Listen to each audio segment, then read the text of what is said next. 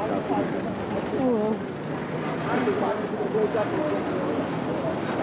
I'll even give you a taste.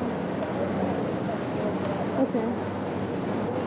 We're hitting like four different spots so far.